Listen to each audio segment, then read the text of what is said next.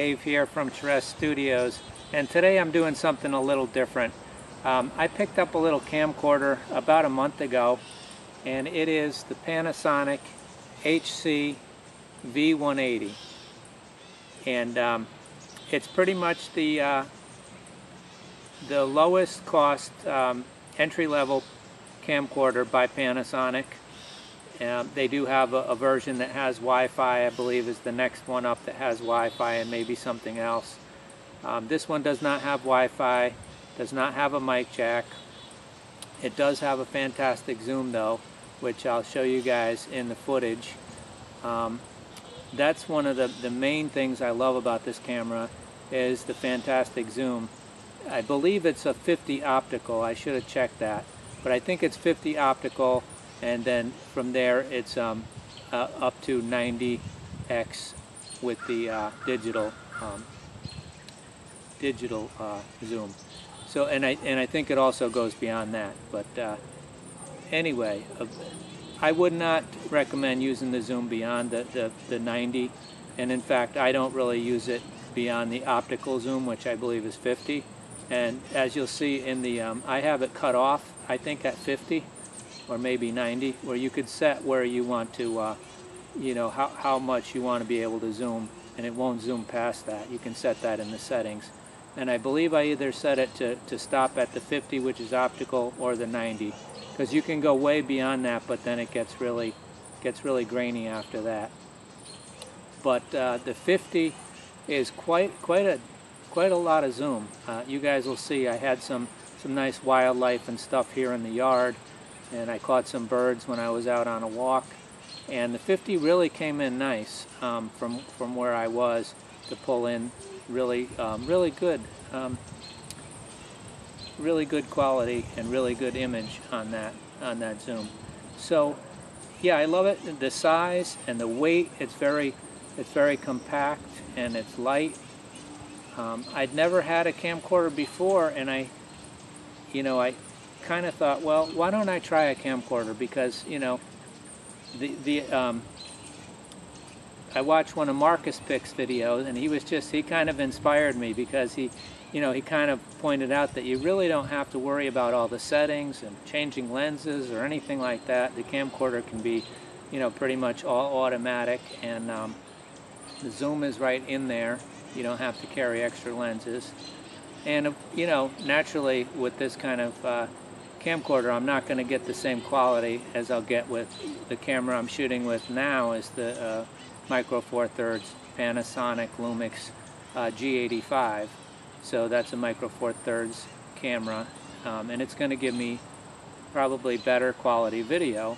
Um, but that said, it's not going to have, you know, I'm not going to be able to just throw it in my pocket like this and have 50 times zoom and, um, you know, be able to just uh, easily access it and do, do what I need to shoot a video all automatic.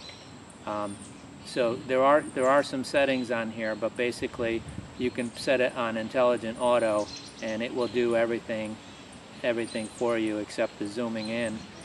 Um, the, the microphone quality I thought was very good and it works with the zoom so you know the further away you are the, the higher the mic um, picks up.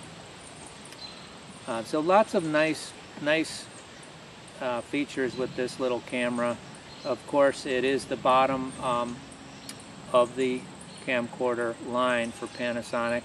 Um, so it's, it starts at, um, this camera is about $200. Uh, I did see it on sale for 177 and I waited too long so then it was 199 by the time I wanted to get it. But uh, I think it's I think it's well worth the 199. It's a good camera. It's lightweight, easy to take with you. Um, I'll give you guys a close-up on the camera.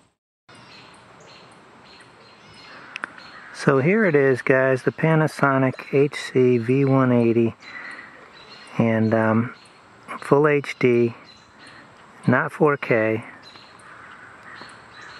And I'll open it up for you guys. So there's your connections. And I'll put it on too. May as well put it on. So your on button's inside here, but you can have it so it turns on with the door opening too.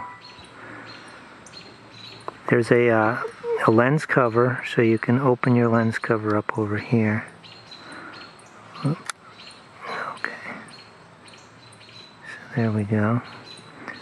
And now we can see this camera filming this camera. So the um, the LCD screen is pretty nice. You can definitely see what's going on even in pretty bright light. And um, I'm going to show you guys the footage so I'm not going to get into this too much but I just wanted to show you what the LCD screen looked like and how it, you know, when you're looking at it from the behind the camera. And this, of course, this screen flips around so that you can see yourself on the other side. And when you close the screen, it goes into kind of a sleep mode. And you'll see the power button will go off. But as soon as you open the door, uh, the power will, will resume and you can continue on on filming. So there it is, and um, let's take a look at the footage, and when we come back, we'll be filming on this.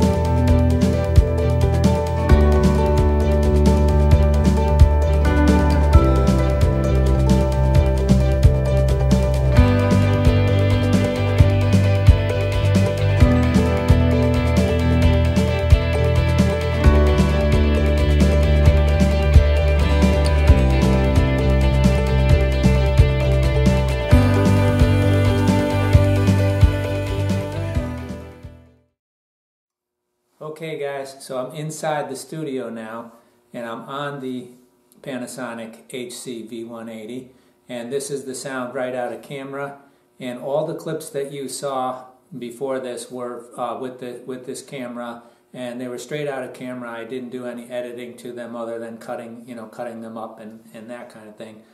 Um, the zoom is the um, up to 90, I guess they call it intelligent zoom and then beyond that, you can go up to 500 uh, times zoom with the digital zoom.